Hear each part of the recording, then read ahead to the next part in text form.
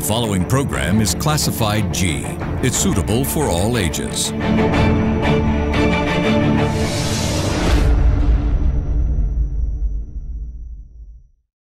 We would like to remind our viewers that the views expressed in this program by our participating guests are solely viewpoints of them who take part and does not reflect the views and beliefs of the Derana Media Network. This is an opinion based program.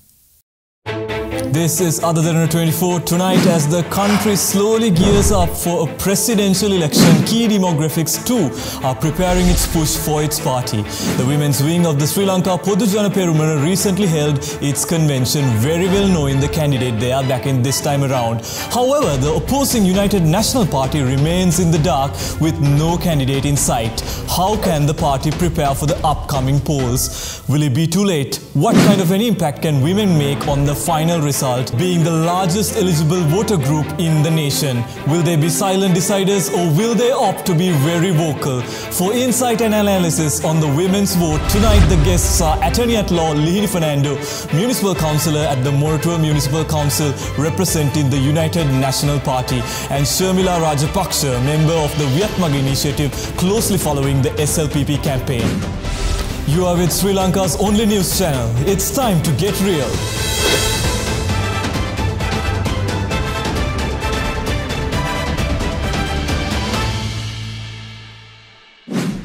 A very good evening to everyone joining us today. I'm Daniel Tanamasam sitting in for Mahieash Johnney who is on a break this week.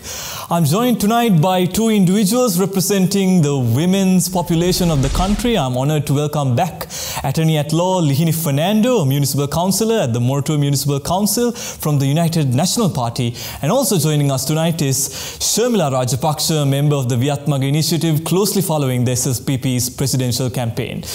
Let us move directly into the crux of our discussion by providing some context onto the core issue. Based on the media population estimates conducted by the Census and Statistics Department of Sri Lanka, 8.47 million women will qualify as voters for the upcoming election. This is 52.29% of the total population eligible to vote. It's quite obvious we don't see this representation in Parliament as only 12 members were elected.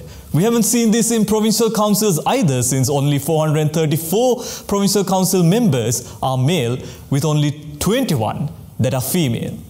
Today we are here to get some insight as to how much of an impact women will be making in the upcoming presidential election. Shermila, I want to um, start with you. Uh, with the recent revelation of how elections are going to be and the presidential election that is coming up, I want to ask you what exactly should be the next president's biggest priority as a woman? What do you think the biggest priority should be for the next president? Um, so the biggest priority in today's context uh, for a candidate would be, I would say, the national security, mm-hmm. uh, because um, everyone suddenly uh, uh woken up after the April 21st uh, bomb blast. Uh, we were all like very comfortable and uh, we had the uh, ability to criticize and say whatever it is, what we need, the luxuries that we want, because the national security, it's kind of like the foundation of our economy and of our country. So that was set. All of us were in our comfort zone. And all of a sudden now that is challenged. Mm -hmm. So for, uh, for us to do anything, even to develop economy, talk about democracy, uh, talk about women's rights, empowerment, or entrepreneurship, or environmental rights, anything, I think the national security is the utmost important thing. Mm-hmm. Um, so I think the very first priority for, a, uh, for our next candidate will be uh, the national security. Mm-hmm. So as long as, uh, because at the moment no one is sure, because uh, uh, there is no certainty as to who at least who at least committed this crime, mm-hmm. right? So there was no identification. So at one point they claim, okay, this group did that, and after a certain while they say, okay, it is not that group who did that. So it's like, okay, uh, some terrorist group has come. So whether we don't know whether it's internal or external. So um, everyone's concern is that. So mm-hmm. that would be. Uh, according to my analysis and understanding, mm -hmm. the pulse of the people, I think it's national security. Mm -hmm. So Lihini Shermila says accountability is one issue and national security.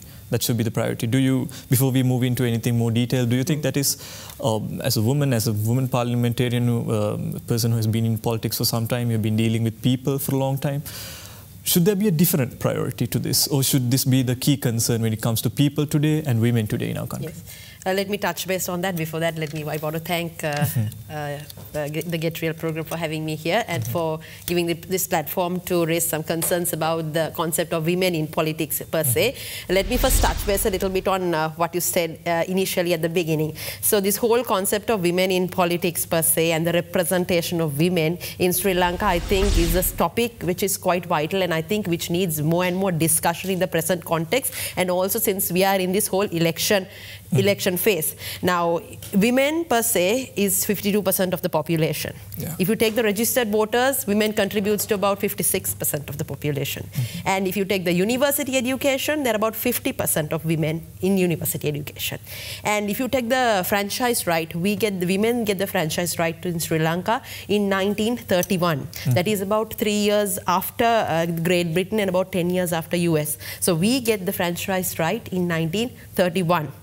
But in present context, I, am actually to say, I'm a little sad to say this, mm. but if you take parliament, it's only female representation is only 6%. 6%. Before 2018, the local government women representation was 1.9%. mm -hmm. And in provincial councils, it was 4%.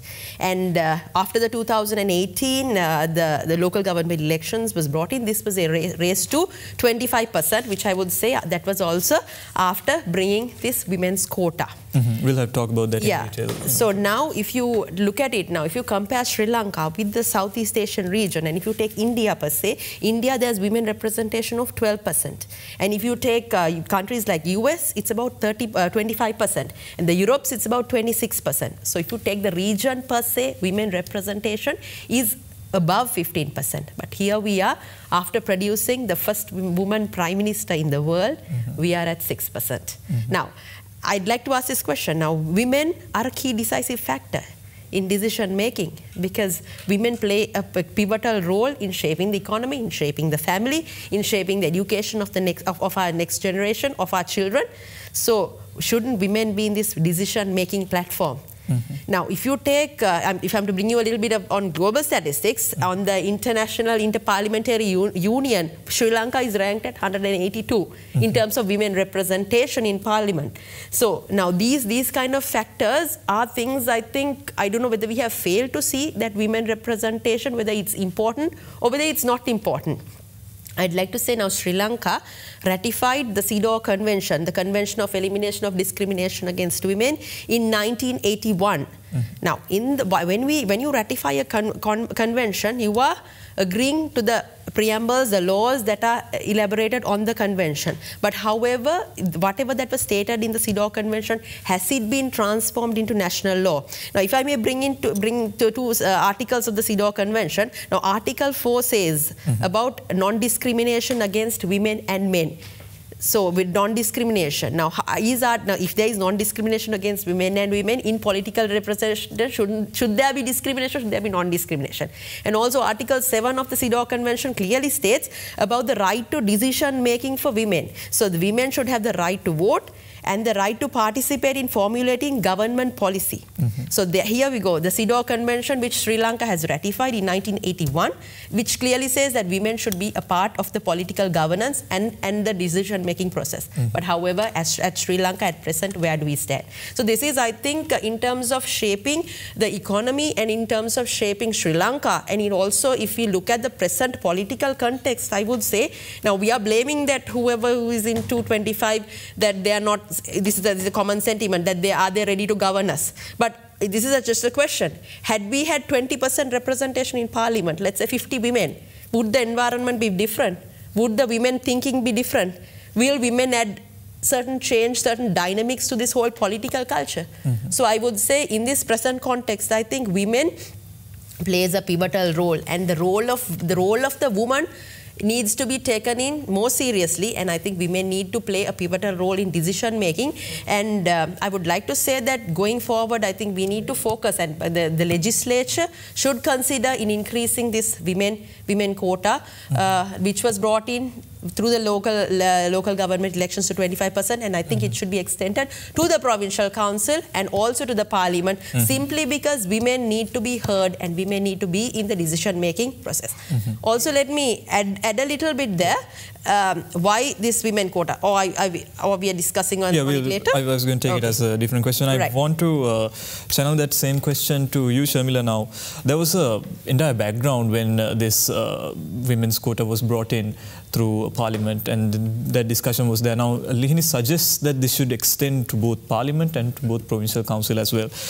Do you think a quota on women's representation or providing candidacy or making it a requirement to providing candidacy for a certain set of women?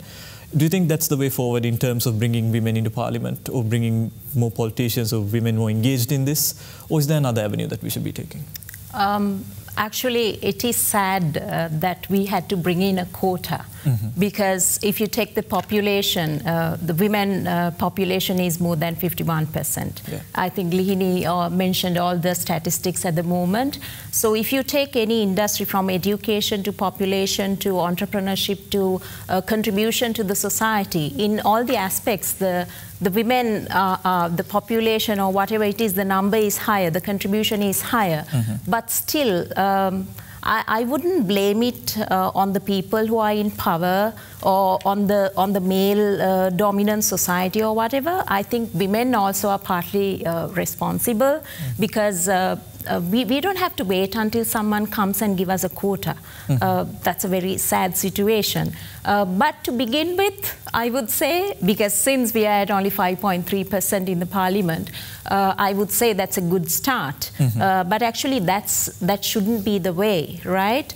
Only thing is, even though there's a quota, now we saw the challenges that we had. So certain parties, like they didn't allow the females to come forward. So there were females who contested for the election, but how many of them actually got elected, right?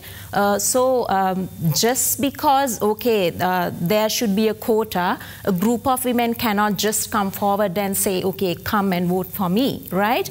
They had to have the right grooming, they had to have the right uh, training, mm they had to have the uh, right, uh, uh, the skills and abilities and empowerment to do such a job. Mm. So actually women is capable today because we are managing at home or offices and everywhere. We do multitasking, right? We do make decisions. Uh, so even though we say it's a male-dominant society or whatever it is, most of the decisions are being taken by females, mm right? Um, so we have the ability to do that. Uh, only thing I would say the women have been like so engrossed with their day-to-day -day work or with children or family. Their priorities are always something else. Mm -hmm. uh, so we have left it for the males to do. Mm -hmm. uh, so um, I would say that's a good start at least. Um, now, but I see there is an increasing uh, interest from women uh, women are coming forward in different sides. Entrepreneurship, they're talking about environment, they're talking about rights, uh, things like that. So I think gradually it has to increase and it has to come within the society. That's the ideal solution. Um, but as I said, I'm happy that uh, we have started somewhere. Mm -hmm. um, so to going into my next question, Lihini, I believe I should give you some time to talk about the quota as well. Mm. Before I go into that, if you could uh, channel that and link that with this as well, why? Now, Shermila comes from a background where her party has now given a candidate to the people mm. for them to decide. Why should, this is like the crux of our debate as well, yes. uh, why should the women of this country vote for the UNP or the party that you are supporting, at which point there is no candidate they can support right now as well. Right. If you could extend the answer to when your government, when you, the government right. that you supported brought in this quota as well, right. Uh, your ideas to that and the candidacy issue. Yeah, so this in 2008 to 18 for the local government election, the bill was passed in 2016 if I'm not mistaken. That was brought in, brought forward by the present uh, Women's Minister, Honorable Chandrani Bandara and also a culmination of other ministers including the opposition, where all women got together and said that we need to represent this 25% of women's quota needs to be brought in.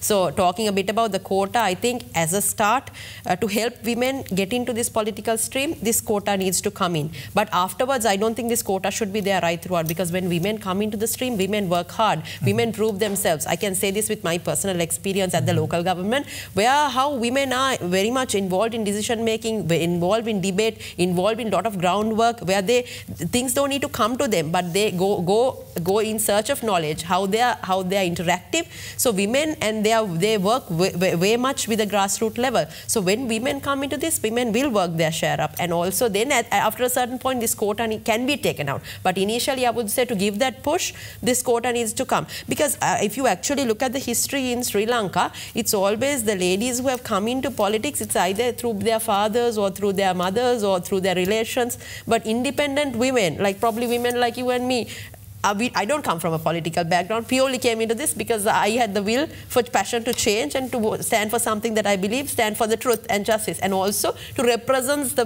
women's voice. So many women who are not in this conventional politics need to come into this if we are to see some change. Now, if you're talking about, you were raising the point about the UNP, if I'm to say UNP as a party uh, is my, a party. My question then goes to why should a woman vote for vote the for the UNP? So UNP as a party works on certain principles. A party that is focused on policy in terms of long-term strategy, in terms of a vision for the country, and they I would say they will they will follow the rule and they will go by they, they, will go by the rule and do things according to a particular plan. But now something what uh, what are the what are the few allegations that comes towards the government is things are not happening as fast as it should happen. So people want visible change. So I would say development, there are two forms of development. One can say infrastructural development and also there's sustainable development. But for a country to move forward, it needs to have a combination of infrastructural development as well as sustainable development. Now, this government, uh, say, has focused on this whole concept of sustainable development where they have brought in policies about uh, developing entrepreneurship, uh, giving, building an entrepreneurial culture, like uh, pro programs like Enterprise Sri Lanka, where loan schemes were given to the youth, mm -hmm. and especially also loan schemes were given to the women to start off their self, self, uh, self, uh, uh, entrepreneurships where more autonomy was given. Also things like the budget had allocated more funds for daycare facilities uh, for women to start off daycare facilities, uh, things like that to encourage women. So I would say UNP per se uh, focuses Sri Lanka on the whole broad aspects. So on a policy platform, I think we look at look at the country in the long term, not mm -hmm. not on short, short, quick or election stints. So I think uh, any women women who are analyzing the present political system needs to think needs to think when I'm voting for a party, do I vote for a party that is with policy or do I vote for a party that is uh, that is with a regime, I would say, culmination of a certain few people mm-hmm. making the decisions or party where there are certain group of people, independent people who come from different knowledge backgrounds, diverse in policy, knowledge, do we work, vote for the policy or do we vote to uh, mm. sustain an, an, agenda of a certain family, I would mm -hmm. say. Uh, now, Shermila, you'll have to respond to those claims. But definitely, definitely. Please give me uh, a chance. uh, we'll have to go to a short break in a while, so we will take some time to respond to those uh, claims. Mm -hmm. Before that, uh, Shermila, could you tell us uh, why, what, why you think, before we go to these claims, why you think, in brief, why a woman voter should vote for the party that you're supporting or the candidate you're supporting, mostly the can you're behind the candidate mostly more than the party. Uh, why, why would you make that decision? Exactly. Actually, actually you, you said it right. Uh, uh, most of us who are supporting uh, Mr. Gotabaya Rajapaksa, we are not behind a party, mm -hmm. right? He, he became the candidate of the SLPP on the 11th of August. Before that, he was an independent person, right? So we started uh, gathering around him uh, ever since we lost the election. Mm -hmm. And uh, when we saw, as a mother, I saw how the country is going backwards. Like I was never interested in politics. All of a sudden, I woke up and I heard that okay, the Geneva resolutions are passing. Like our own people going to a human, going to the Human Rights Council and passing resolutions actions against our own country, then only I woke up, right? So actually, the, the team of people who are there, most of us, we, we have never been involved in politics. We have never been interested in politics. Mm-hmm. But all of a sudden, we had a realization okay, we have to come forward and we have to find the right person who can take this country forward. Mm-hmm. So we, we rallied, rallied behind Mr. Gotabaya Rajapaksa, uh, irrespective of a party. So mm-hmm. we, we would uh, support him whether he's coming from SLPP or whatever it is. We are behind the party because, you know, as women, we don't usually just say things and go. You know, mm-hmm. your mothers or aunts or sisters, right? We want to get things done. We like when people do things, even in our, at our home. Even though the husbands or the fathers or the brothers do or not, we go and make sure that certain things are done. What has to be done is done, right?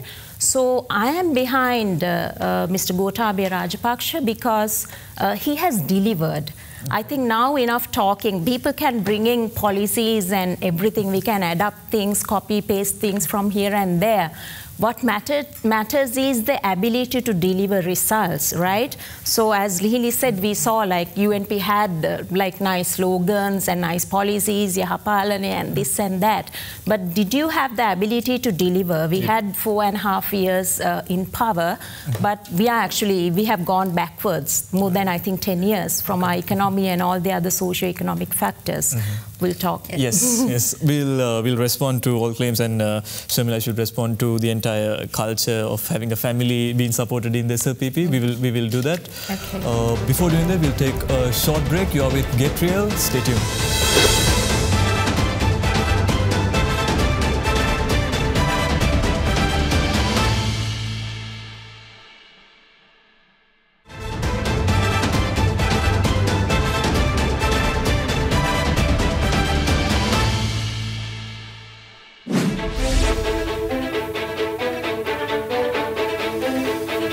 Are back on Get Real, so there has been an exchange with regards to how the candidates are functioning and how the parties are functioning.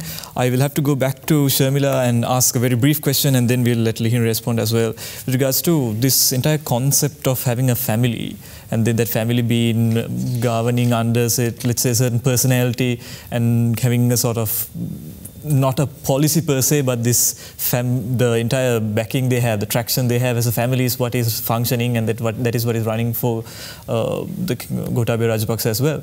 What do you say to that claim? Um, I actually say that's a misconception, right?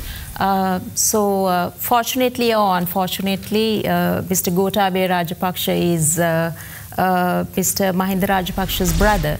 Uh, but um, I would say Mr. Gotabaya Rajapaksa, uh, SLPP elected him as the candidate because people were asking for him right? So ever since we lost the election, uh, Viyathmaga, also the professionals, whoever who rallied behind him, uh, we believed that he has to become the next leader, not because he is the brother of uh, Mahinda Rajapaksa, but because what he has done to the country right? Uh, so there are certain misconceptions. They are a family, yes, uh, but they have delivered results, mm -hmm. right? They have done things for the country. They know the pulse of the people, mm-hmm. right? Uh, so actually, if you take uh, Mr. Gotabaya Rajapaksa and uh, if you take the leadership of SLPP, Mr. Mahinda Rajapaksa, both of them like complement each other very nicely. Uh, right? Uh, Mr. Mahinda Rajapaksa has uh, the understanding of the political arena and he has the maturity and he, he has a lot of charisma, right? Mm. so people uh, from the grassroots level, they love him, mm. right? Because uh, for what they have done. So especially women, women love him because about 37% of the women in Sri Lanka are widows. Mm-hmm. I think most of them became widows uh, because of the war. Mm-hmm. So these are the people after 30 years long, after 30 years, they put a stop to that war, right? Mm-hmm. So the women, especially women, are asking for them to come back mm-hmm. because women are, are, we are suffering here. Actually, I have a daughter. right? Uh, I am suffering, so uh, I am still uh, scared to send my daughter to school, right? And uh, and th- these children, they are not uh, they are not like us when we were small. They're very advanced. They have access to everywhere in the world. Uh, she's like, why are we even staying in this country? Nothing is happening, mm-hmm. right? why don't they have anything else to show in the TV? Mm-hmm. is that all they have to do in the parliament? why can't the president control the people in the parliament? Those are the kind of questions that we get as mothers, right? So we need we need answers. I need a, a future, a, a, secured, a protective future, a sustainable future for my child. So I think the mothers would want that to come back, what we had, mm. the security, the economic prosperity. So uh, it doesn't matter whether they are from one family or different families. Uh, so now is the time people have to leave behind these party perceptions or family perceptions, and people have to objectively look at people, policies, and what they have done, what they have mm. delivered. Mm. Uh, so I would say that uh, we have to uh, give up on those misconceptions and look for the person and his abilities and capabilities. Mm-hmm. Lihini, um, delivery, that is one of the highlights of what uh, Shermila is uh, suggesting. If you could uh, answer also, we see that a lot of men are making decisions with regards to what the country's uh, exact requirement is as well. Can I say, uh, can I suggest a statement saying politically both men and women have the same aspirations? On a, on a political platform, and you could respond to whatever Shermila has been saying until yeah. now. So, just starting off on the concept of delivered. Mm. So there are two ways of delivering, right? you can either have development through democracy and you mm. can have development through dictatorialship as well. Mm-hmm. So now, if you take uh, the previous uh, particular candidate which Shermila was mentioning, uh, was it developed, was, was it delivered through democracy or was it delivered through dictatorialship? I'd like to ask, go back and ask uh, when certain developments were done, was there a violation of fundamental rights of the people? Were overnight were shanties just broken down? Was people's needs taken into consideration? Was this development done through the conventional process? Were, were these uh, uh, were these projects passed and tendered, and did it, did it follow the due process? Mm-hmm. So if it was uh, if it if the due process was followed, when people follow the due process, is that the reason why the de- delay in delivery?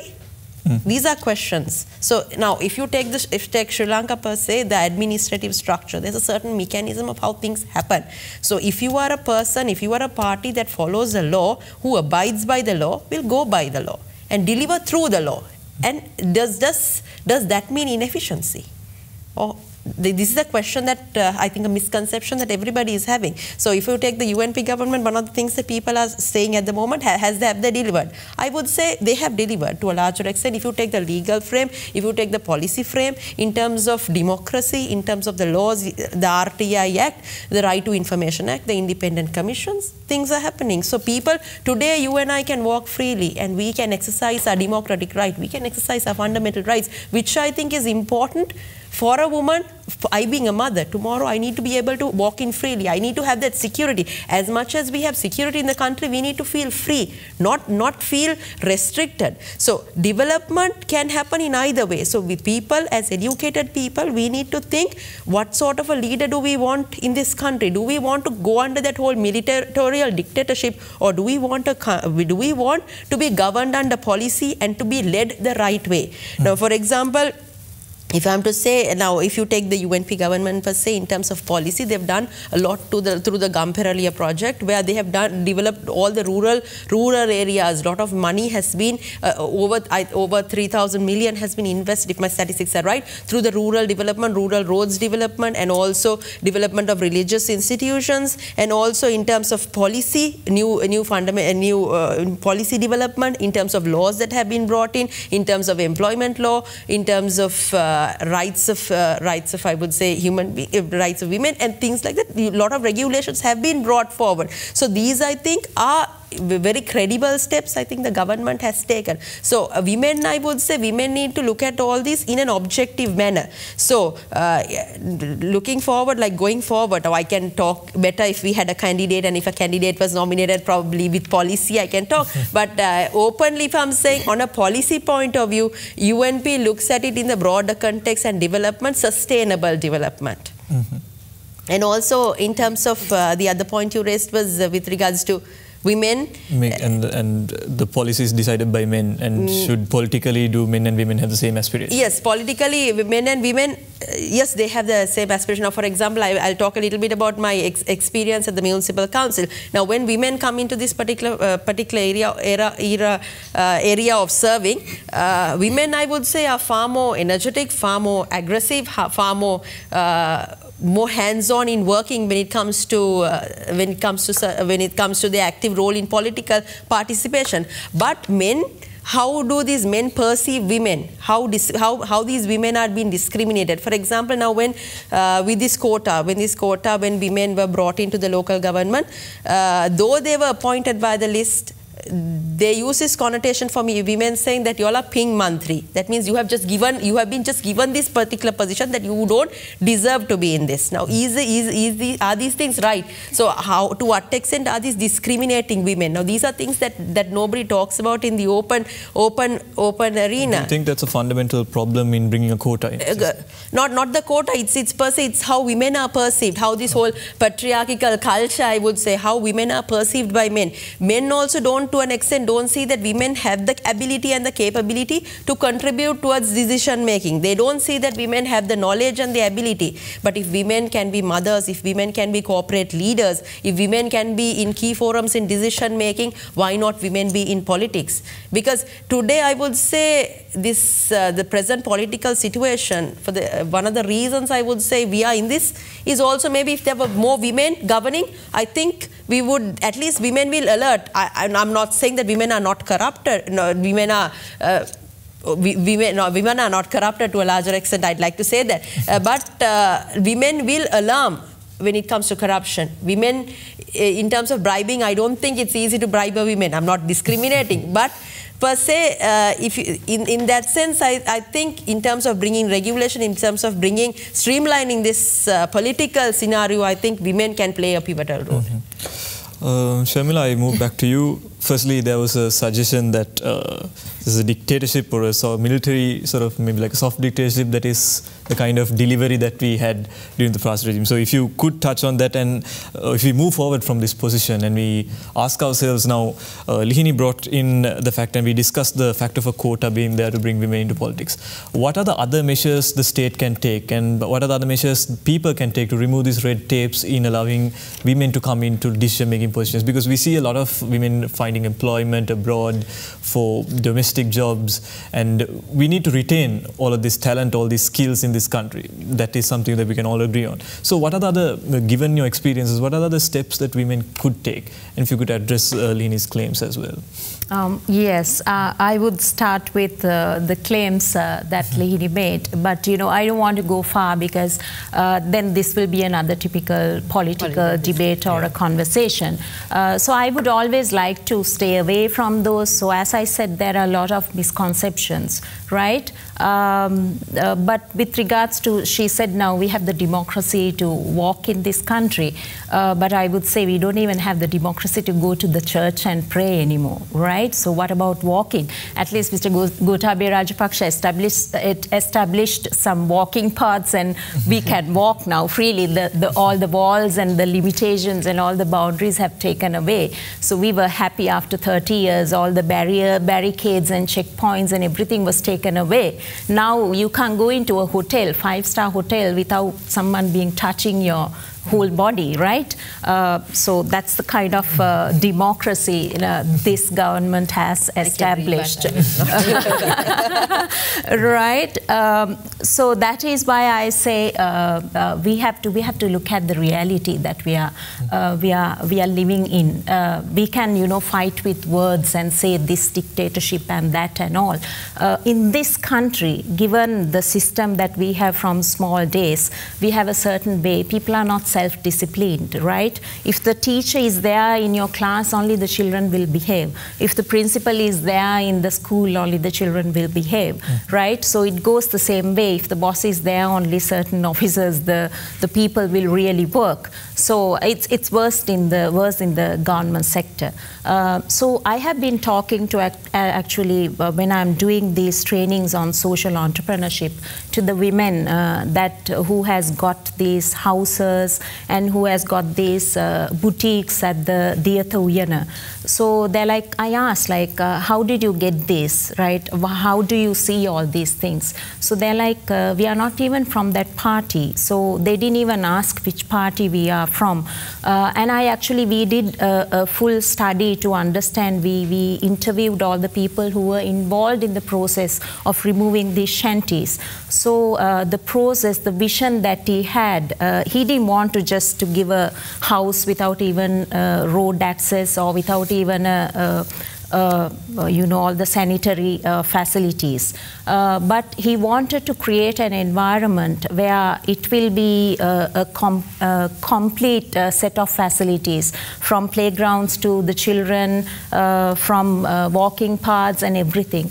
So getting something done is not dictatorship. So if we try to label everyone who's getting done the work as a dictator, we won't be able to go uh, further in this country. So we have seen that during the last four and a half years, right? So a party uh, who, who cannot uh, remove their leader constitutionally because they're stuck with the constitution in the party uh, cannot talk about a democracy more than that, I guess. if you could address uh, the claims with regards to what the state should be doing to bring in bringing in more women into politics maybe bringing into bringing them in bringing them come into more decision making roles. What do you, what do you see the state should be doing apart from bringing in quotas? Yeah. Uh, so actually uh, this has to start uh, from the education system itself. Mm -hmm. it has to be a very systematic way right? Uh, so actually recently at the SLPP uh, women's convention Mr. Gotabaya Rajapaksa uh, touched upon these concepts so from the education system itself we have to start start grooming uh, leaders. So it doesn't have to be discriminated as women or uh, men, mm. right? Uh, so or every child has to have the capacity to uh, come into politics or whatever the uh, uh, you know field that they want right? So it can be constru uh, construction it can be teaching it can be education it can be politics. So recently I, I met a child who was in the A-level class. Uh, so I was asking from everybody what are your aspirations? So there was a girl who said I want to become the president of Sri Lanka. So I asked like are you just kidding me? No, she was like, yeah, I do. I do one day. Uh, but I don't know whether I have the, uh, I have the uh, support system in this country to become that, but I would do that, right? So we have to have a system very systematically. Like if you take Singapore, they are uh, uh, grooming their ministers from grade 5 scholarship exam uh, starting from there, right? So um, in our country also, we have to have a proper system. So at the moment, uh, what is lacking is where as and when a government changes, the policies are changing, mm. yes. right? Mm -hmm. So we have to have a system very solid. It shouldn't change. The system should go on irrespective of whoever the political party or the leadership who's coming in. Mm -hmm. So there is a lot in the hands of the people who are working for the government, right? And who are in the education system and uh, uh, especially the, even the parents, right? Mm -hmm. So sometimes parents, uh, they would uh, groom their son in a different way and groom their daughter in a different way. Or politics, you don't have to talk about that, right? But the son, of course, you can talk about anything. So we have to churn, change the systems and perceptions, and it has to be a gradual system. Mm -hmm. So apart from the quota, I think that has to happen uh, very uh, uh, in a visionary way. Mm -hmm. We need to move to Lihini as well with regards to uh, what the state should be doing to bringing yeah. in more women to politics and to more decision making uh, positions. Before that, we'll go for a short break. Stay tuned. This is Get Real.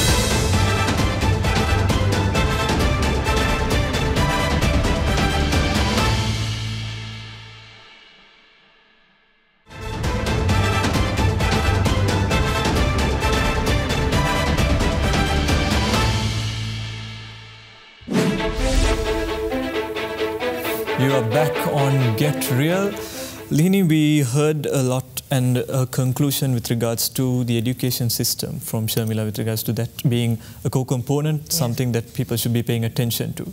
Um, if you could, in a more conclusive note, tell us exactly what the state's position should be in empowering women Amen. and to bringing in that vote for a reasonable cause, given they award you that mandate. And if Shermila also could uh, uh, give in an input with regards to this. When they give in that mandate to you as a state in the event mm. uh, you do plan on making government next from this election, what, what should be those key concerns? What should the but to the people, the women specifically, push their presidential candidates to achieve? Yeah. So I would say, in a broader sense, women's, whichever the government comes, women's issues need to be addressed. Now, for example, uh, at, at the moment, we don't have a women's rights bill. We have ratified the CEDAW Convention, but it has not been converted to a law. There are NGOs that are working, uh, inside in, NGOs are working, the ministry is working, but all these units, not just to e evaluate the CEDAW report, but they need to come together in terms of bringing in action for women. Women's issues in terms of sexual abuse, in terms of cyber harassment for, issue, uh, for women, in terms of sexual uh, issues that happen at workplaces in terms of, uh, I would say, teen pregnancy, malnutrition, then uh, maternal mortality rates, then in terms of women entrepreneurship, then gender discrimination, public harassment to women, all these things are severe issues that are that, that face women. And also the, in terms of healthcare, now we talk about maternity leave, what about paternity leave? Nobody talks about these factors. So and also about educating the children, the pivotal role that women play in educating children children while being career mothers. Women are mothers, they manage their household plus their career. So in terms of establishing and giving more support to women, in terms of opening more daycares, in terms of opening more creches. So things like that. How do we support this woman to, how do we mobilize this woman to come into a more decision making, to come participate more in governance. So I think the state per se has a pivotal role in supporting this woman. If women are not supported, women cannot, because women has to balance multiple roles. Doesn't mean women are incapable. Women can, but women, women hold a greater fort no, I'm not, I'm, not, I'm not discounting the fact of a man, but women hold this. But together with that, they can be a pivotal role in the whole decision-making process. But the state also, to a larger extent, needs to support these women. So uh, in terms of, now we have the Women's Charter, but the Women's Commissions need to be established. The rights, bills rights, uh, bills of rights for women, all those things, regulations need to be, I would say, far more stronger and looking uh, to strengthen the woman. So, so in, if, if that, whichever the government comes, that that is a, that I would say is a pivotal role. And if also in terms of uh, contributing and helping women to come into politics. So as I said, uh, politics, women, it's, it's the whole conventional route of awarding nominations to women. But can it go another step? Can women be awarded political uh, nominations because they are capable, because of because they are good, because they can contribute to decision making, because they, they are they are stronger and because they have the knowledge? Can can the government can, can policymakers, can the parliamentarians look at things in that, in that eye? So these are things that we need to uh, debate and look in a broader sense because women, I would say, they not only can lead with brains, but they can lead with hearts also because women are empathetic, women understand issues and, um, and so I would like to say also women who are watching this, if you if you you expect change everybody expects change everybody blames the present government the past governments the 225 that is in parliament. But if you want change be the change Talk about politics. Talk about politics in your household. Talk about politics with your peers, with your friends. Don't politics should not be a stigma. Decision be, being contributory to decision making should not be a stigma. You should take that bold step and come forward. If if women, if more and more capable women come into this, yes, we can change the system. I think we need to take this from six percent to I would say at least a minimum of twenty percent initially through the quota but thereafter not through the quota but women need to come and work so that women will be contributory factors in decision making going forward. Mm -hmm. Shermila, if you could also give us a conclusive note and if I could ask you the same question, what would a country, Sri Lanka 200, uh, 2025 look like to you? What would you like it to look like? Um, so I want it to be uh, a suitable place to live for my family and my child. So I think that's uh, the dream of every mother, right? Without a fear, uh, without having to think of, do we have to migrate to another country? Or like sometimes I always tell my husband here and there, we better apply somewhere and keep for PR in case if the, this gets worse, like we have to go, right? So uh, I think uh, we, we shouldn't be in that uh, dilemma, right? Uh, so uh, we have to uh, live in this country. we love this country, but most of the people are leaving the country because they're being forced to leave the country. All the educated people uh, who are talented and who have good brains, uh, they're leaving the country, right? Uh, but we have to keep our talent in our country. We have to preserve our, our, resources for this country and we have to build up a country for our future generations. So uh, what I would say, as Lihini said, the system, the political system, right? So uh, as I said in 2015, when I realized the things are not going well, I started uh, talking on social media. I started raising my voice on my Facebook. So all of a sudden then whole heap of my friends are messaging me privately, uh, why are you talking? Like, aren't you afraid? Don't talk in public, right? Because we have this barricade, right? Uh, so like, they're like, don't talk. Like, uh, uh, what will happen to your career? Like, people won't accept you, right? So that is why women are backward because they don't want to be judged. I know even some men, they're not talking, they're not coming out and expressing their opinion because they're scared of being judged. And I agree with that because sometimes when I go and I talk, or whoever who talks, right, people label you right? Now I'm talking for uh, Mr. Gotabaya Rajapaksa. I, I, I, like his policies and I, uh, I follow him and I, I uh, second him. Uh, so then people will label me as, you know, whatever it is. Sometimes they ask, oh, you're a Rajapaksha, right?